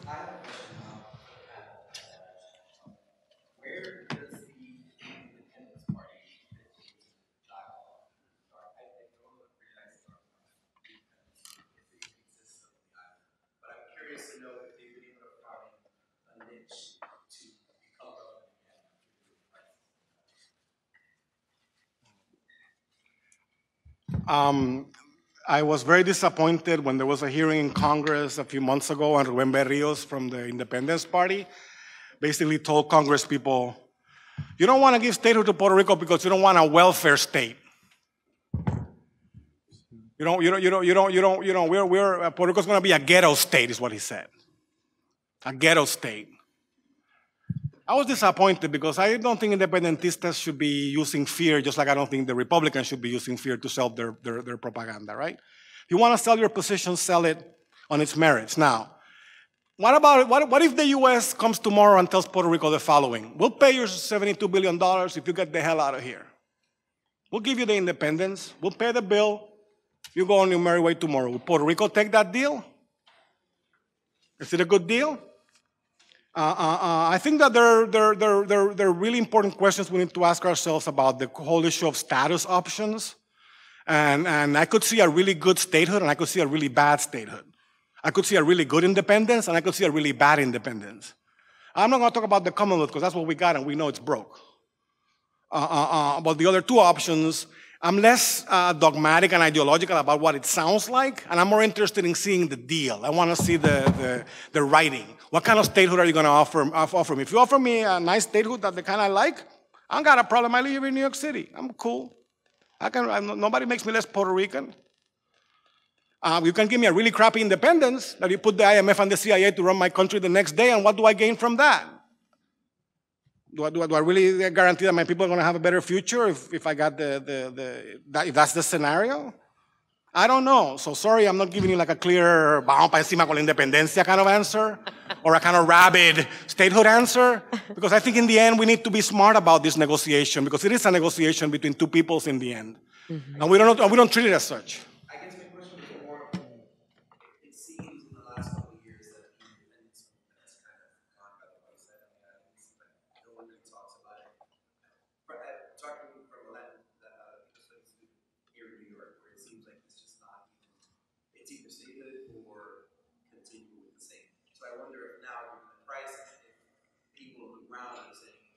Mm-hmm.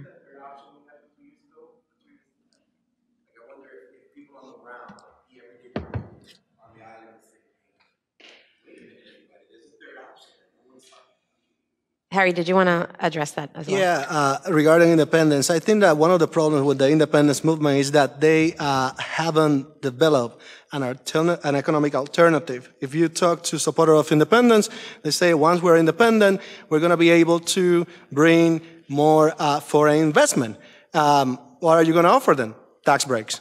I'm like, come on, that's exactly what got us into this mess with the difference that at least uh, under the current colonial system, when things go bad, there's someone to complain to. So uh, I often wonder how is Puerto Rico change the trade balance, let's say, with uh, resurgent Argentina or Brazil? And the main idea, and I, and I talk to everybody when I go to Puerto Rico, and the main idea among supporters of independence is like, well, basically, once we become independent, we're going to be welcoming to the Latin American family of nations, and they're going to give us stuff for free. That's the bottom line. I mean, they think that Brazil is going to give us cars, that Argentina is going to give us cows, just because we just rejoined our family. And they have an even worse economic program than the current Commonwealth and the stateholders, which for me is, I mean, there, there, there could be a working independence, but right now no one is offering uh, a system that may work. Mm-hmm. Other questions? Yes.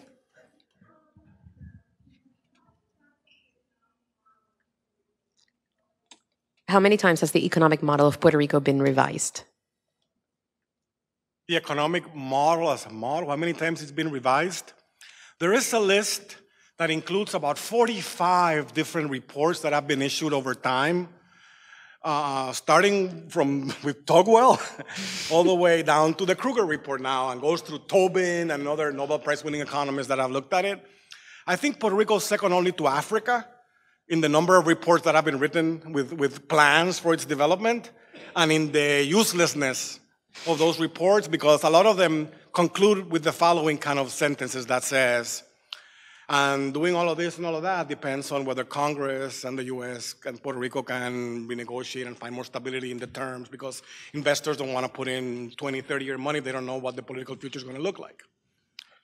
So, so it kind of reverts back. And, and also some of the reports kind of uh, uh, propose some bitter medicine mm-hmm. that the electorate in Puerto Rico is unlikely to go for, and politicians, you know, they want to sell people what they think they, they want to buy, so they don't. And I'm not trying to talk about this, this tough medicine. I talk about, for example, taxing the rich in Puerto Rico. and I talk about cutting welfare for the poor. To me, that's, you know, you don't, you don't get a lot, of, a lot of money from that. What you get a lot of money is in the untaxed wealth that has been accumulated in Puerto Rico by the local elites over the last 20, 25 years in both housing real estate assets and in financial assets mm-hmm. that are not invested back in Puerto Rico, but are invested right here downtown. Mm-hmm. Uh, uh, um, and, and, and, and, that's a challenge, and I think, the, but, but, but, the, but the elite runs the place. So they're not going to increase their taxes. They want to put it on Uncle Sam and want to put it on the U.S. taxpayer as much as they can because, you know, they, they, they, they claim poverty. And we have this hypocrisy that for the rich in Puerto Rico, we give them incentives and for the poor in Puerto Rico, we give them fuete. Mm-hmm. Yes.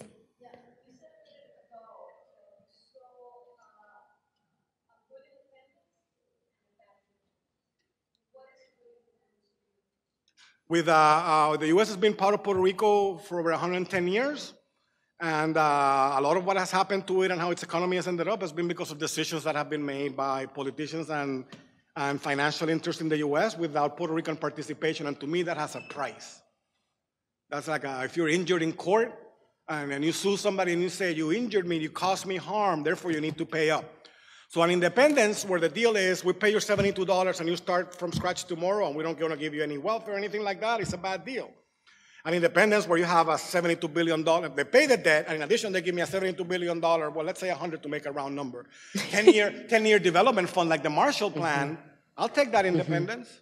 And they can do it if Puerto Rico were a state. Because the other states will go like, wait, where's my $100 million, billion dollar fund? But they could do it with, a, with, a, with an independence transition. It's negotiated between two peoples. Mm-hmm. Anything is possible when you're negotiating between two peoples. It's just that we're kind of timid, you know, and, and we, we, you know, we approach Americano con la, you know, with a, you know, exactly. It's a huge part of the problem. We don't claim our rights. I see you. It's been a colony for 117 years. So uh, we have three different structures. Right? We have statehood, which isn't going to happen because about seven senators have to give up their office to us. Uh, I mean, Congress people, yeah. yeah. But that's not going to happen. The current status, the yellow status, it's, it's needed. And where has it gotten? 73 billion in debt. And the same people who have put us in that debt are blaming us for that debt, and then they're not going to anything for us. So the logical answer would be independence. Now, if we gain independence, I know uh, it's a little shaky because the United States won't come to the table, and, and some people are, are uh, a little afraid to sit down at the table. But if the powers that be came together with the Independita, then you could discuss how uh, the Tydings Act and how that would work. It would be like a 10-year process. You phase out, you phase in, and you could negotiate with Maduro, negotiate with South America bring back the economy to Puerto Rico. I mean, that, only, that seems to be the only logical answer. Nothing else is working. Yeah, no, I mean, there, there, there, there are some, some challenges still, still with independence from the political and, and also, I mean, the, the local elites are very adept at adapting while maintaining their hold on power. Mm-hmm. And, and to some extent, the federal government can play and has played some kind of a role of putting some brakes on that kind of corruption.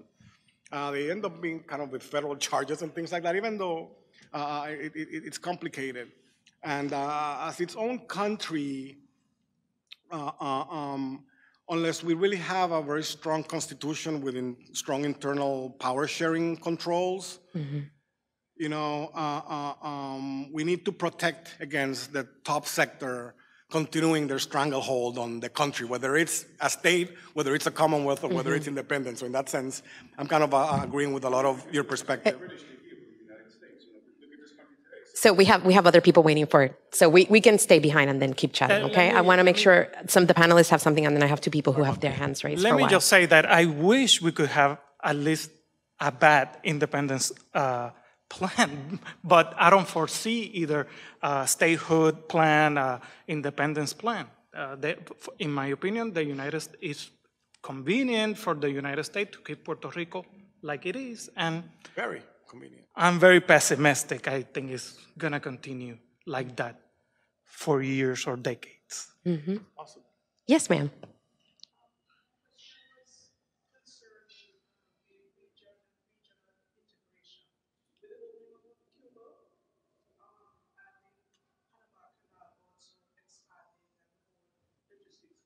Mm-hmm.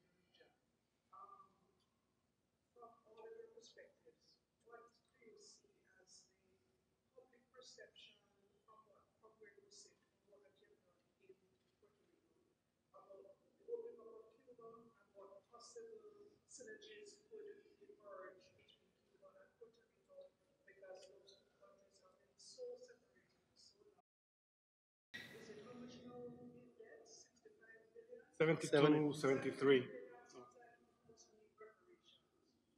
Yeah.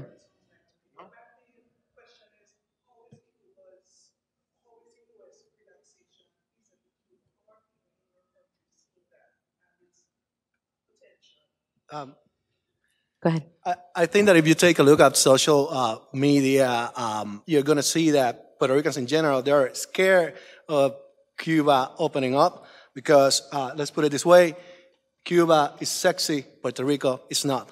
Uh, they fear tourism in Puerto Rico is going to disappear, going to um, more um, um, fetishized uh, places for cheap. Uh, I'm going to say it again Cuba is sexy to the point that you go to Europe and people hear you're from Puerto Rico. Ah, you say you're Cuban, woof, you're in. You know, that's how it happened. And people in Puerto Rico, they, they have great fear of this opening because before the United States took over Puerto Rico, and even after, Cuba uh, outdid Puerto Rico in every, econ- in every uh, economic measurement. I mean, Cuba is a huge country. So I don't think that Puerto Ricans are so much open to uh, uh, integration, and they're more like fearing the competition. And for example, this happened with the, uh, with the Dominican Republic, which has overtaken Puerto Rico in tourism, when in the 1960s and 70s, Puerto Rico was um, uh, sending experts uh, to the Dominican Republic on how to build your tourist industry. And now Puerto Rico is trying to catch up with the Dominican Republic. So I don't think that Puerto Rico is so much interested in um, um, creating links um, with other countries and worries more about how can they survive these countries rising up. Yes, sir.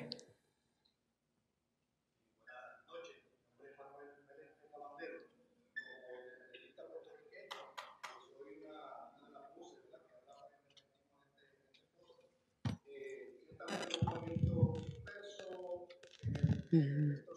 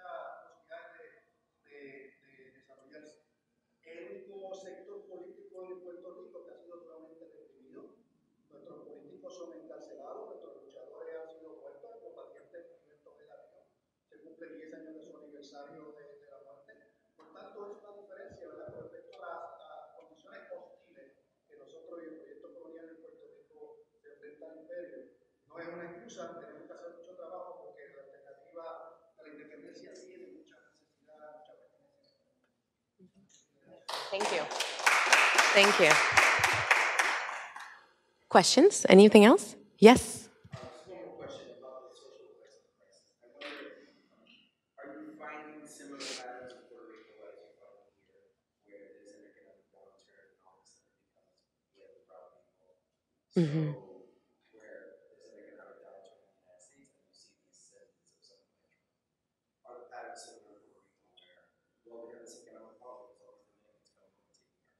Mhm. Do you find that there's similar correlations to that sort of political reality And we have here? you know, I will I will ask also to that. I want I want to add to that that see when you're a moderator, you get to do this. Um, that your numbers in those last slides of the how the wealth was divided, the inequality, um, you know, with your with your quintiles, were very similar to the U.S. Right? I mean, they were almost exact, eight percent, one percent. So I wonder if you could say more about that when you when you deal with with this question. There's actually more inequality in Puerto Rico. The take, the take is about five percent more for the top group. Yeah, about four or five if you if you include the top forty. Um, so there's so there's more inequality in Puerto Rico. Um, in terms of the the xenophobia question, um, I have not seen a lot of direct evidence, and maybe others have, that the crisis in Puerto Rico has taken on a kind of xenophobic anti-Dominican turn. The patterns of prejudice have been pretty negative and stable against that population. I don't think it's gotten worse, but again, I'm not in that community enough to know whether in fact things have, have, have gotten worse and people are being blamed. It would be curious and completely wrong to blame quote unquote immigrants in Puerto Rico for the problem, A, because they're a very tiny percent of the population, and B, because when you look at their numbers, participation, and all of that, they integrate themselves into the labor market fairly effectively. Uh, um, now, I think Puerto Ricans do punch down, though, and, uh, uh, and that has a color component, and, a- and, a- within Puerto Rico, race component in the sense that the lower classes tend to be darker than the upper classes, and, and, and, and there is definitely this kind of, in, in, in this argument uh, that, that is repeated by local Puerto Ricans and local Puerto Rican elites that the welfare is too generous and people don't want to work. There's a, a very strong kind of racial overtone to that. Uh, uh, uh, um, that isn't explicit, but is very much there and, and, and is very implicit. Uh, and it may find a kind of expression that is a, a racialized expression, um, but I think that the, the, the, expression that people in Puerto Rico use to refer to that social group is la gente de los barrios, la gente de los caseríos. Caserío. And that I think groups kind of race, class, undesirability together in one big stereotype. That that I think is the punching bag for, for the Puerto Rican elites as they're, as they're trying to deviate attention from their own thievery and misdeeds. Your presentation talked about Latin population, but the numbers seem to be not Latin, five percent uh, going down. So what will the effect of the continuing uh, out migration and loss of population have on the debt crisis, the economic and financial crisis? Um, Puerto Rico is becoming, uh, uh, uh, um, as, as, my colleague Raul Figueroa, a local demographer, calls it, an elders' colony. An elders' colony. The, the average population is aging. Uh, there's more return migration of retirees, incidentally, quite like Cuba, by the way, who's also experiencing an aging population and are now scrambling to figure out whether they can get retirees to retire from the US with their Social Security there. And they're offering nice villas y castillas. But that's another story. Um, so the so the Puerto Rico is becoming uh, somewhat of an elder population. With more out migration, you have the negative side, which is that the market shrinks, that you lose people with experience, creativity, work capacity, uh, uh, uh people that you, the country has invested in educating and are now reaping those rewards kind of elsewhere. Um, that would be kind of the, the market shrinks, right? There's less consumers, there's less earners. Uh, uh, uh, but it is a, a, safety valve, and it's people that are deciding not to stay and, and put up with that collapsing economy and labor market and looking to, to better themselves, which has a direct positive impact not just on themselves, but on their family members. Because rather than them being a financial burden for friends and relatives, they become an asset and, and they send remittances back, which in, are not like Mexico level remittances in Puerto Rico, but they're not trivial either. It's over a billion dollars that is sent back. And many of you that may have family, relatives, and friends in Puerto Rico, you know that sometimes you got to cover this for your mom or that over here. And the fact that you have an earning capacity makes you more, more likely to do that. So it's a mixed, it's a mixed blessing, you know? It's, it's, it's, uh, uh, uh, uh um, I don't think anyone gets up from one day to the next and, and wants to kind of migrate, you know? But, but, but, the, but for the last 70 years, the Puerto Rico's economic model has been one that's been predicated and built upon migration and, and counts on that migration to, to, to, to, to be both a political social escape valve and to be an economic, an economic resource.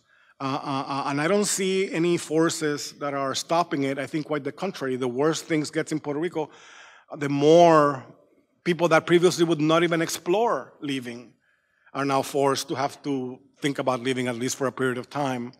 I have a couple of friends that actually live in Puerto Rico to this day and work in New York City. And they travel every week, every couple of weeks, and basically stay in, in, in one bedroom, you know, one bedroom, they rent a room from somebody. Um, because they're kind of even better off that way, if you can imagine it. Uh, uh, uh, um, so migration is going to continue. And um, the problem is that we don't have a diaspora here that's willing and ready to organize and receive our compatriots. So we've then become dispersed and then become this atomized collection of Puerto Ricans here that are not really working to try to get our voice together and our act together to kind of help the island get it together. And, and, and we kind of more say, well, our situation's fixed, we're solved, we can. Um, so I, I'm, I'm for more organized, more, more, more powerful, more, more assertive uh, diaspora because I don't see there are any internal forces of change. You know, the political parties in Puerto Rico and the local elites uh, too much invested in the game as is to, to want to transform it. And the very people that in other countries would be the social force uh, to, to create social movements and put pressure uh, uh migrate. You know, so there, there's there, so there are a couple of escape valves in Puerto Rico that have prevented a social explosion. I don't believe that things have to get worse to get better, but that a camp is getting more and more adherents in Puerto Rico. In other words, there are more and more people in Puerto Rico saying this is going to hit bottom, and when it hit, hit, hits bottom, it's going to hit the fan, and maybe at that point people will wake up. Uh, um, but maybe not. That's my my fear. You know. Um, Any, that's an optimistic way to end. well, I was just about to say, how about some concluding uh, thoughts from either Harry or Ismael and Hector at the end too? Well, um, uh, I would like to say that I, I think that uh, in the near future, um, even more than that, Puerto Rico is not going to become an independent country for many reasons, many, many reasons. Uh, recently, the New York Times came um, and some other uh, media in the US came in support of independence as a, a, a fixer-upper. And there's many problems with that approach. For one, it doesn't take into consideration that the majority of Puerto Ricans who live in Puerto Rico are rejecting independence. And though I don't oppose independence, I would oppose an independence that is imposed on the Puerto Rican as opposed to offering or negotiating an independence that is workable and that Puerto Ricans are going to accept, not that is going to be um, uh, put down their throats. Because um, it's kind of like um, the ultimate um, colonial act to do such a thing. And the way I see it is part of white privilege for the New York Times and other outlets to say, yeah, let's give Puerto Ricans independence without consulting the Puerto Ricans. That's my view. Not that I oppose independence, but I would oppose someone that basically has uh, someone having um, kindergarten knowledge of history of Puerto Rico and the historical background of Puerto Rico, offering independence as a solution to the economic problem, which it is an economic problem which is rooted in the political situation of Puerto Rico. But let's tackle what we need to tackle first. There's a health uh, crisis in Puerto Rico and there's an economic crisis that needs to be solved right now. And even if we start working on developing an independent, uh, an independence that would be workable for Puerto Rico, it's going to take decades. And the economy has to be fixed now. Thank you. Um, when are things gonna hit bottom? Uh, I remember in 2008, uh, in a family uh, reunion during Christmas, people talking about uh, the economic situation in Puerto Rico and how it was really bad and hoping for the better in the following elections in 2008. And still, it's 2015. And tomorrow, there's going to be something new with uh, what the, the current administration unveils. Um, so I don't foresee things uh, getting better. Um, I foresee things getting even worse in the next couple of years. Uh, uh, the vulture funds uh, are going to keep uh, mounting pressure on the government of the island. Uh, we are going to see probably another different administration in the following elections. the pro-statehood party is, is going to probably win and it's going to keep being the same uh, for a while. Uh, and one of the reasons that uh, I worked with Teresita to uh, create this, this, panel was in its response to one article in the New York Times that argued that, you know, the, the, the situation in Puerto Rico, uh, it was just a matter of people uh, in this region that can migrate to the United States and that they have a healthy safety net. And this was said by a, by a distinguished professor from the CUNY Graduate Center, uh, without considering the political status of Puerto Rico. And uh, my aim here was that people could learn and hear that it's that the political status of Puerto Rico is key to understand the economic situation of Puerto Rico. But again, I don't foresee any offer from Congress or the president about solving the political status of Puerto Rico. Sorry for the bad news. Hector, any last thoughts? Um, um, a, a couple uh, real quickly. I think in terms of the research and the analytics, there's a need to continue as these reports and pronouncements come out to continue to interrogate them and ask, what is the evidence? The minimum wage is too high, but what is the evidence? Puerto Ricans don't want to work. Well, what is the evidence? And, and I see part of my job as continuing to interrogate. And again, I was shocked when, when, when, when, when I realized how little original research Krueger had done. And I was shocked as a Puerto Rican, not because she wasn't Puerto Rican or anything, but because you figure, you know, at least you're going to do your homework and try to get it. And same problem that happened to, to, to, to our colleague Krugman from, from here and, and others who uh, uh, are used to giving things a superficial look and thinking that they get it all. And Puerto Rico is not an easy place or case to understand. It's actually very challenging. Independence, everybody can understand, and statehood, everybody can understand, but, but colonies are, are complicated entities. and, and I think Puerto Rico is not a simple place with simple solutions. And I don't think complexity should be our enemy, but I think we should continue to interrogate those stereotypes that I pointed out, with, with, with, which are very present. I right now worry less about the status conversation, A, because there are a lot of smart, powerful, thoughtful, engaged people that are in that debate. And I don't think I can contribute much to that, but I do think I can contribute with the research skills and others to understand poverty and inequality in Puerto Rico, what it is, uh, its causes, what are not its causes, and its consequences, and to ensure that any policy that is proposed, whether independence, statehood, Commonwealth, whether populares or the PNPs, any policy that attempts against the livelihood uh, uh, uh, of low-income people in Puerto Rico, I'm going to oppose. And I don't care where it's coming from. I don't care what color it's coming from. I don't care what you call it. Eh, I will look at the policy, and if I think it's going to hurt working people and poor people in Puerto Rico, because it's going to cut away benefits that I believe they have a right to as U.S. citizens, to food, to healthcare, to housing, I'm going to do the best I can to find the data, find the evidence, and, and, and, and, and, and, and, and, and, and, and articulate why uh, uh, uh, helping is not hurting, but helping is actually helping. Uh, uh, uh, and that those that say helping are hurting do so because they either don't want to pay or because they have some other agenda in mind that is in the interest of, of, of, of those people.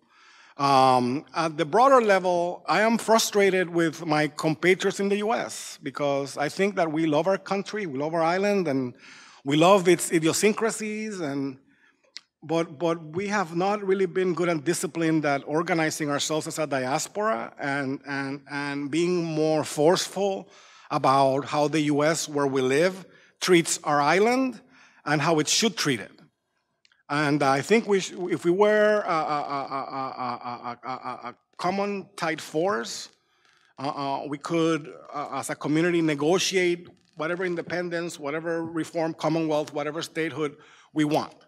But because we're atomized and divided and, and, and, and really haven't made an effort to politically come together and do a, a project for Puerto Rico as opposed to a project for statehood or a project for independence, the divide and conquer is going to to continue. And I'll finish with, with, with this last thought. The Centro in, in, revolutionized the way people think about Puerto Rico and Puerto Rican history.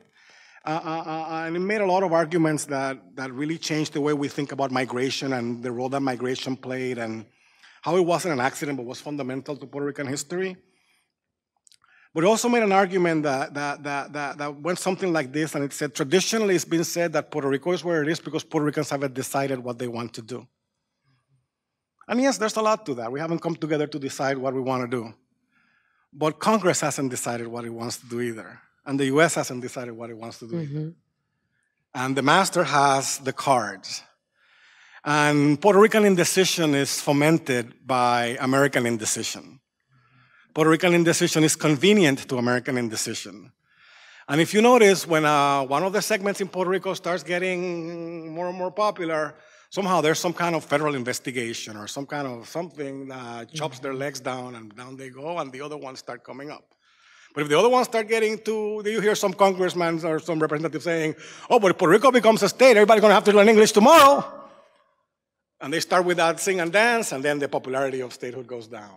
Mm-hmm. So rather than, than, I think where we are being a simple matter of Puerto Rican indecision and us as a family not coming together and deciding, which I've argued, and I think it's true, I think we also need to keep our eyes on, on, on, on, on the bigger uh, prize machinations and, and manipulations and incompetence in the US Congress. And at some point also demand that they decide what they want to do with Puerto Rico. And stop playing this game of uh, uh, carrots and sticks with the different political parties in the island to ensure that none of them really has an outright majority so that they don't have to sit and negotiate with a united Puerto Rico. Uh, uh, I know it sounds conspiratorial, conspiratorial and a little uh, Machiavellian and a little uh, uh, uh, discouraging, but um, the solution, in my sense, to all of the challenges is in continuing forums like this and occasions for us to come together, share some analysis, leave home with a, hopefully a, a, different, deeper understanding and a sense that this thing is not going to solve itself, nor are the Americans going to solve it for us. Uh, uh, uh, um, it's got to be about us uh, uh, coming together and then demanding that the Americans put their cards on the table too. And say, this is what we're willing to do with Puerto Rico. But in a negotiation, you know that you don't want to reveal your cards. So I understand why it's a, it's a as, as, as, as, Ismael said, you know, it's, a, it's, a, it's an easier game to say, you all decide and then we'll tell you what we, we can do. And they're the master. They, they have the power to do that. We don't have the power to impose anything on them. But as a diaspora, I think we should organize to demand that the, that the U.S., more clarity from the U.S., and, and, and, and less, less of this kind of uh, uh, uh, beneficial obscurantism. And I thank you all for being here. Really appreciate it. Uh, uh, uh, uh, uh, um, it's, it, it's when one sits and does a lot of tables and a lot of data at 2, 3 a.m. at night, one hopes and wishes that someone at least looks at it and appreciates it. So thank you again for being here, for being so supportive. Thank you for being here. Thank you to Hector and Harry and Ismael for doing this, to Victoria Stone, who put all of the details together. And stay tuned because we will do this again. Thank you. Good night. 24, we did good, man. Yeah. Started on time, ended on time. I like the way you do business. Ah, so we, maybe we have to do it again. That was awesome. I can send you a slide deck for sure. Thank you so much. Yeah.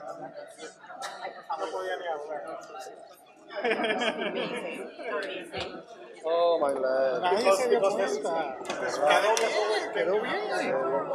Ah, Could you come to the other one? To the other picture? Oh, awesome.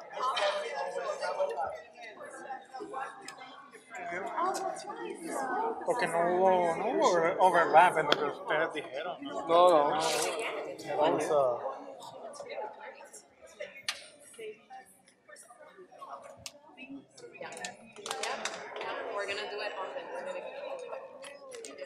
there is incredible work being done that needs to get done, so we're gonna keep doing it. You don't know what? Well, you can only speak and see what happens. Yeah. Right? Hopefully, people are gonna- It's difficult, right? Yeah, Cuesta arriba, but, but you have to do it. If we don't do this, this is probably